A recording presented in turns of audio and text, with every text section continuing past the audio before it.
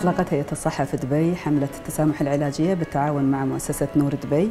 الهدف منها تجميع مبلغ 300 ألف لإنشاء مخيم العلاج القادم لمؤسسة نور دبي لعلاج أمراض العيون للمحتاجين.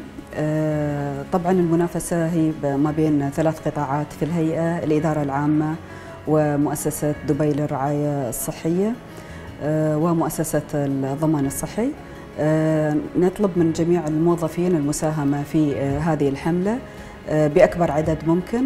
طبعا المبالغ محددة ب 50 درهم على كل مسج بس ممكن إعادة التبرع كذا مرة. في مبالغ معينة بعد لها أرقام حسابات ممكن تحديدها من خلال المنشورات اللي يتم توزيعها على الموظفين. وندعوكم للمساهمة مع أهلكم واللي تعرفونهم كلهم على أساس نوصل للعدد المطلوب من التبرعات. آه، صاحب أكبر عدد من التبرعات بيحمل راية التسامح إن شاء الله في هيئة الصحة وبيتم تكريمهم في نهاية الشهر الكريم.